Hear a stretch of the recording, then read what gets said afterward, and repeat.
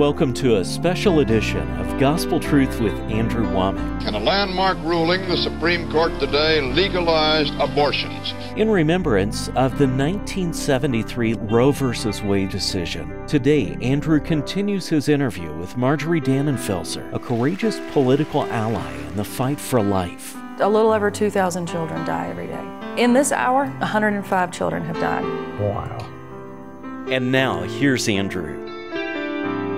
I've started a couple of pregnancy centers in this area, and they all have sonograms. Mm-hmm. And the stats are that when a woman comes in, they don't tell you that you mm-hmm. cannot get an abortion, yeah. but they tell you that they believe the best is to choose life. And one of the things that they do is show a sonogram of that child, and you would probably know the exact statistics on on the percentage that once they see the sonogram, yeah, I forget I what know, it was, yeah. but it's huge. It's it like is. 70, 80, 90%. Once they see the That's child right. and it's no longer something they can't see, all of a sudden mm-hmm. they decide to give birth to it's that not theoretical anymore. And that has really changed society. It's why um, the the pro-lifers are younger and younger now because you know they they saw their little brother on their on the refrigerator um, long before he was born. They had a name for him, um, and it doesn't change just because uh, your idea of that person changes. Let me give some statistics here. In 1973, when they started the abortion through Roe versus Wade, there was 615,831 abortions.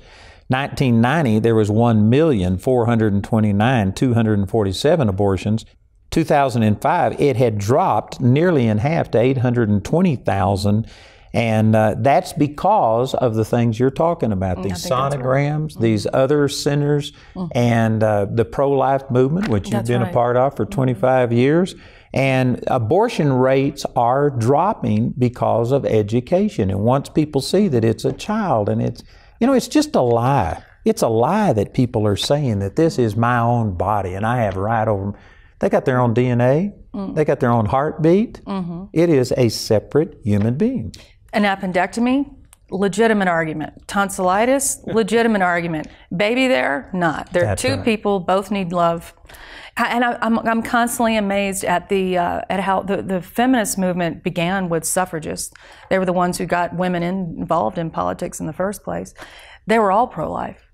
Susan B. Anthony said, The act will burden her conscience in life, it'll burden her soul in the grave. But thrice guilty is the one who drove her to the dreadful deed, the people who pressured her into doing that horrible thing that she recoils against, that invisible knowledge that she has.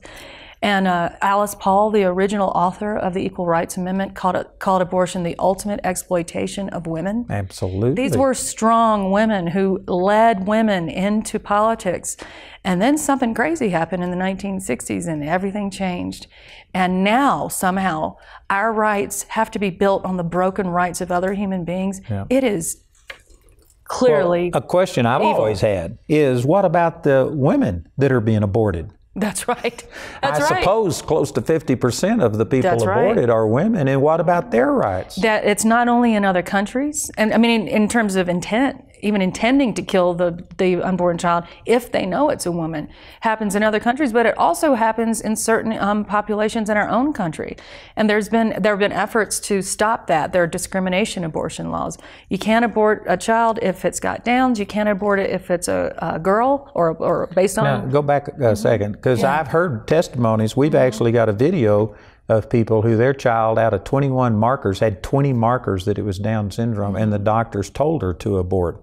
And she chose to believe, and the child is perfect. Isn't it amazing? But you were saying that there are laws now that you can't abort because of Down syndrome? Well, in Indiana, uh, Governor Pence signed the uh, uh, anti-discrimination law relating to abortion, and it was that it's based on disability. You can't be aborted based on disability, um, or or um, race or sex. Now, is this only And it's not on. Unfortunately, it's not enforced because it was immediately challenged, of course, by the other side. It's making its way to the Supreme Court. It could be the one to overturn Roe versus Wade. There's several that could be, but that could be one too. This is the reason that the Supreme Court justices that Trump is appointing is so important because Yeah, in the in the past the Supreme Court would have ruled against life. That's right. I know. I And mean, now really, we don't know for sure what's going to happen, but at least we've got people who say that they will uphold the Constitution. Well, Roe versus Wade week is the week to be thinking about this that that the world is changing right before our very eyes. Um, depends on when that case gets there, but there's a springtime of life coming, and uh, and we we're getting ready. And we also have the heartbeat bill, Mm-hmm. and uh, that was passed where? That was in Iowa, signed by fantastic Governor Reynolds. Um, she's a just a beautiful advocate for life. That, without question, will be is is already challenged. It could make its way as well.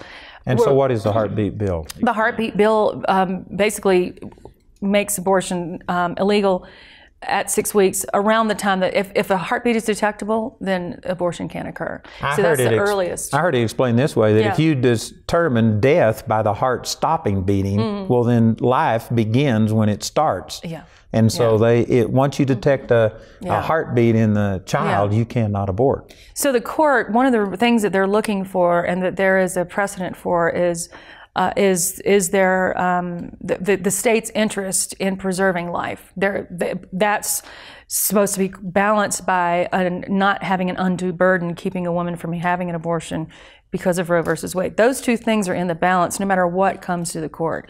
So the question will be, yeah, that seems to be pretty obviously indicating life, a heartbeat. So that's a good choice to choose heartbeat. The question will be, is it an undue burden to at six weeks? I mean, these are the court's words, not mine, on a woman's right to have an abortion at that point. So the question will be, will the court be willing to be that aggressive or not? Um, We'll find out. It depends on who's on the court at that point.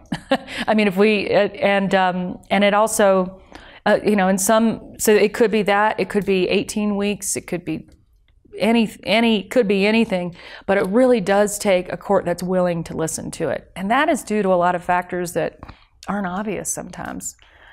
Like it's popular. That bill's popular. It's being passed everywhere. You know. Marjorie, let me ask you this. You at one time were pro choice. Mm-hmm. And if somebody would have come to you saying if a heartbeat, the lack of heartbeat determines death and heartbeat determines life, how would you have responded to that? What, how would you have looked at that? I would have said, which I did, um, humanity is far more than just a beating heart. There, a, a human being can't be boiled down to just a beating heart. That's a simplistic way of looking at it. Now, I, would have said that. Now, now, obviously, I don't believe that. I think there are a lot of unsaid things. There's no question that at conception, it's a hum- it's a human. There's nothing else it could be called. Um, so. Let me use some other scriptures here. You know, we've already used Psalms 139. Of course, I know not everybody watches this program every day, but Psalms 139 talks about God knew us and wrote all of the things in His book before we were even born. Jeremiah 1, 4 through 5 talked about that God knew Jeremiah and ordained him to be a prophet while he was still in his mother's womb. Mm-hmm. Galatians 1:15 Paul said, "But when it pleased God who separated me from my mother's womb and called me by his grace to reveal Christ in me." So Paul talked about that he had a purpose from birth. And then there's just these other scriptures. One I want to read here is Luke 141. It says, And it came to pass that when Elizabeth heard the salutation of Mary, the babe leaped in her womb, and Elizabeth was filled with the Holy Ghost. And Elizabeth went on to say, For lo, as soon as the voice of thy salutation sounded in mine ears, the babe leaped in my womb for joy. Wow, doesn't give you it gives me um, goosebumps. So this was six months into Elizabeth's pregnancy, and the baby had joy at six months, what the world would call a fetus, which they say is not a person. But here is a scriptural account of a six month old baby in the womb having joy and leaping for joy at the sound of Mary's voice. Could there possibly be a more direct lesson from the Lord Himself that He and His cousin were interacting when they were still in the womb? Isn't that awesome? Both of them had these uh, these purposes, and also about the crisis pregnancy of the mother of our Lord and how she handled it. Oh, yeah. she was looked at as an adulteress. People Yeah. didn't understand, and yet, man, uh, they they would have aborted Jesus if they would have had those standards. That's in those right. Days. I know uh, there, uh, there. That what you just read couldn't be a more um, uh, a more compelling lesson to the world about what about what this is. If you believe that Jesus Christ is the Lord Himself, then how can you look at that and think anything anything else?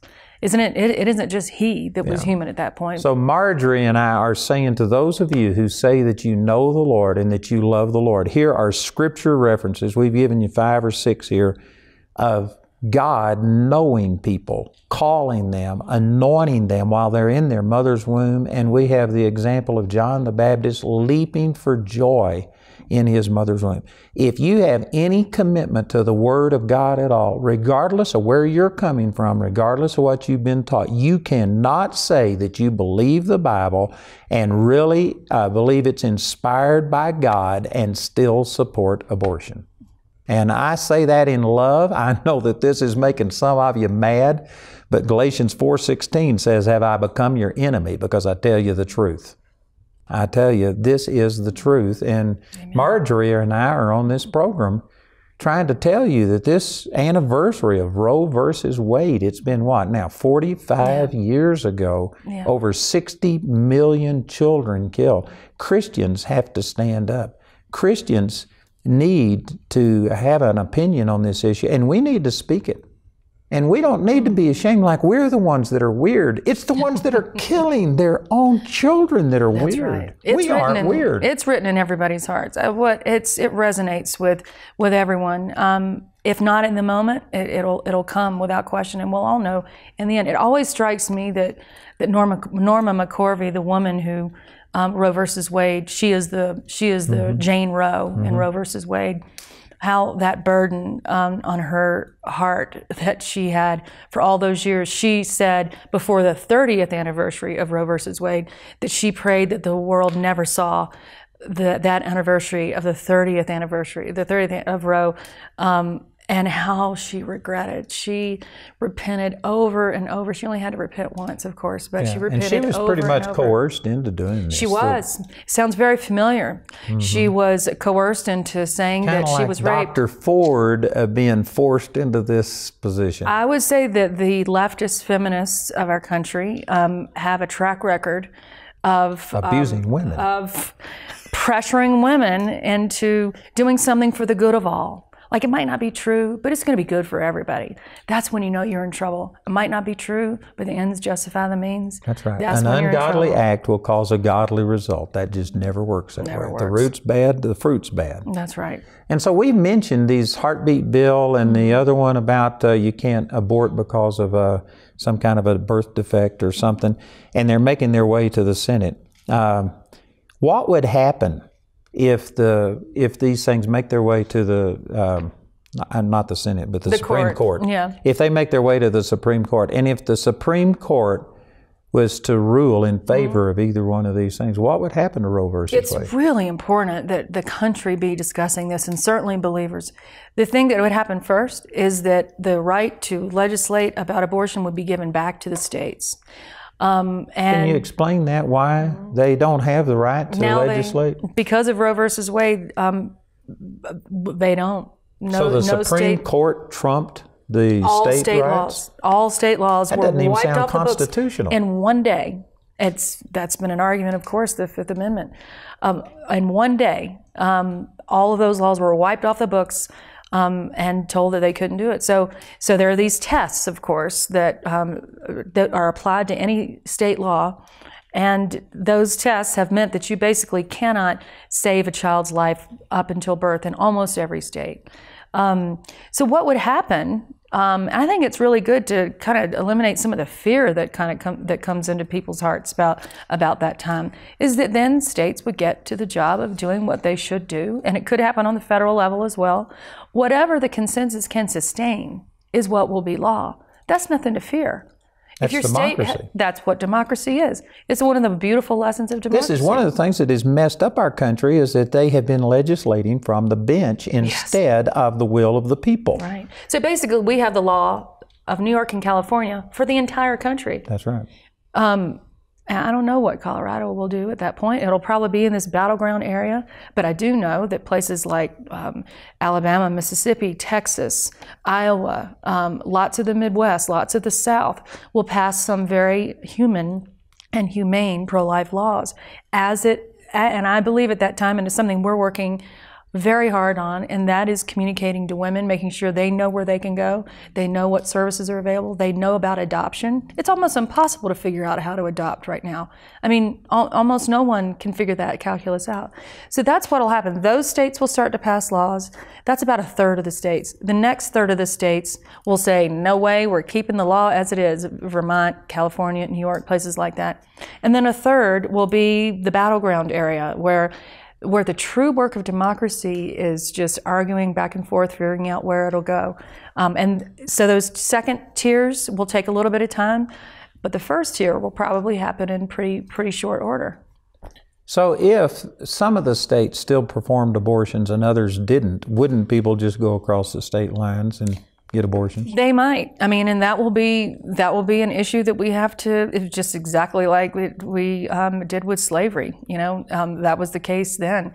Um, But I think that, you know, in your case, you were pro choice, but it's because you hadn't really been presented right. with the issues and stuff. And if they see, say, for instance, one third of the states are all of a sudden opposing abortion, I think that this intuitive knowledge that we read about in Romans chapter 1, it will be enough to push some people to Yes, say that, well, this isn't just the law of the land anymore. And I think they'll look at it differently and it will save lives. I think it'll it's it'll be a part of the conversion of this nation that should have happened a long time ago. We shouldn't we shouldn't have been here, but we are. It'll be a part of the conversion of the nation in more than one way, and um, and also it will be uh, an ability for the United States to be a beacon to the rest of the world again, as it should as it, as it should be. But instead, we've been exporting abortion to the rest of the world. we need to be exporting life again. And I don't remember the details, but I have heard statistics that Obama gave lots of money to fund abortion in these That's other right. countries That's and right. actually promoted it. And I do know for certain that when I was in Uganda, Uganda was threatened to lose multiplied millions of U.S. aid if they didn't support abortion, if they didn't support homosexual marriage and stuff Mm-hmm. like this. So under these liberal presidents, they have actually been exporting abortion and all of these things. They have been, and one beautiful act that the president um, performed not long after being sworn in was to reinstate what's called the Mexico City policy. It's just named that because it was started in Mexico City by Reagan a long time ago. But this policy has gone back and forth between pro-abortion and pro-life presidents for a while. And, and it basically says you can't you can't export abortion. You can't use U.S. healthcare dollars to perform or promote abortion in any way. But what this president did is he took that amount of money that this law touches from 600 million to 9 billion dollars because it's not just because it used to be just reproductive health money. Now it's any any money at all. Any any program that has any involvement in abortion whatsoever um, can't receive this money anymore. Now explain this a little bit more. You're saying from 600 million to 9. Nine billion dollars And so what was money. the six is The six hundred million dollar, the six hundred million, it it mean means that um there were the the law was we can't any money that the United States um, exports to other countries and and programs. Um, those programs can't perform abortions, and so so that affected about six hundred million dollars of our budget then, and that meant that that uh, you know say six hundred million dollars affected you know 450 organizations, but nine nine billion dollars affects many many many times the number so of you're saying under previous uh, conservative presidents there was like 600 million dollars restricted that Right. could but now, Now uh, Trump has expanded billion. it to 9 billion yeah, dollars that worth. means nobody's getting any abortion money whatsoever. awesome. It's an I didn't even know it's that. an enormous change that our friends in other countries who don't want their cultures undermined are thanking us for. Of course, we don't really hear that, but they are. And you know, how what, how arrogant of the United States to be exporting our cultural values to undermine their own beautiful values. And I was I was at the uh, Senate or Parliament, whatever they call it, in Uganda, and I met the man who who changed the Ugandan laws against sodomy. And what it was, he just basically said that if a teacher sodomizes a young boy, it's the same as uh, as if you were to rape a young girl. He made it equivalent.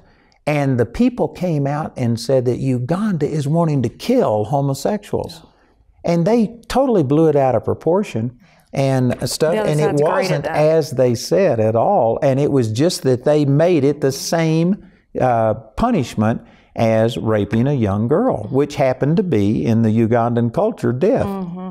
But they presented it that Uganda is passing laws against all homosexuals and wants to kill all the homosexuals. It was just uh, sodomy rules, is what it was. It just goes to show anybody can be taken advantage of if they're not paying attention. It's the same with the Kavanaugh hearings. You know, can say anything you want, and if, if you're not paying attention, you just believe it. Yeah. Well, yeah. That's the, that's the reason we're making TV programs this week, telling people about Roe versus Wade. That's right. Now, I've, also, let me ask you this. I've read in one of the uh, periodicals that I get that they said in the Roe versus Wade decision, 1973, that it there was a place in there where the justices said this is made on the basis of lack of scientific proof that a child in the womb is a human being. Yeah. And if you could prove that, then Roe versus Wade is un, un, uh, is void. Right. Now, is that accurate?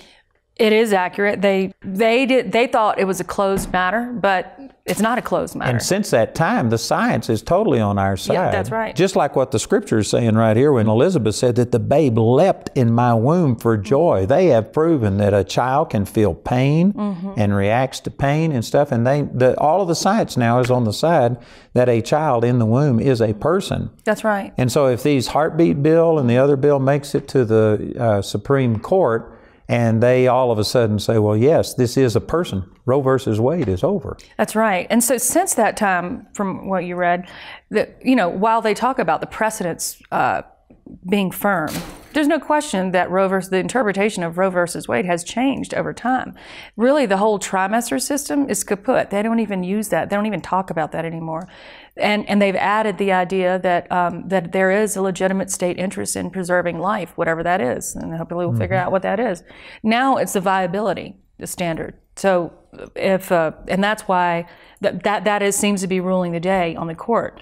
Um, so the key is to test Roe versus Wade pre-viability, um, because that they haven't said anything about that, but they the science is on our side, and we know that that that uh, there are other ways to. The idea of pain, the idea of a heartbeat, there are all sorts of indications of humanity pre viability. Just the idea that we can't breathe on our own doesn't prove a whole lot. Well, Plus, viability has changed with the medical procedures. They can now deliver a child at what, four, five months, six months, or 5 I'm not, months, pretty much. five and months, and they can right. live. Yeah, vi- the idea of viability, the the, uh, the date of viability has changed um, has changed a month for every decade since Roe versus Wade. So, so that shifting standard can't be a basis of judicial. A, a hard rock judicial standard when it shifts, you know, as science changes. And to me, that's not even a good standard because a baby, nine months, full Mm-hmm. term, is isn't viable if you don't feed it. if you don't take care of it, That's it can't take care of itself. Oh, that's Might be able to breathe on its own, but it won't live very long if you don't take Oh, care yeah. of it. And as you said, it's got everything it needs from the moment that um, of conception. Everything it needs, it's all set. All it needs is a little bit of patience. So I think that this is the reason that the left is so incensed and that we saw the resistance to these Supreme Court nominations because they see this. They they are well aware of what Mm-hmm. Yeah. the potential of this is, and to them, to Lou Roe, Roe's, Roe Mm-hmm. versus Wade is just like a house of cards crumbling. Mm-hmm. They could see all of Oh, their liberal agenda going by the wayside. In a landmark ruling, the Supreme Court today legalized abortions. The majority in cases from Texas and Georgia said that the decision to end a pregnancy during the first three months belongs to the woman and her doctor, not the government. Before he formed me in my mother's womb, he knew me. Before I was born, he sanctified me. We held these truths to be self-evident that all men are created equal. They are endowed by their Creator with certain unalienable rights. That monkeys are life, liberty, and pursuit of happiness. Remember, it's my choice. It's God's choice. It's the baby choice. It's our choice. Not yours. Choose life. Choose life. Choose life! cute. He's so tiny.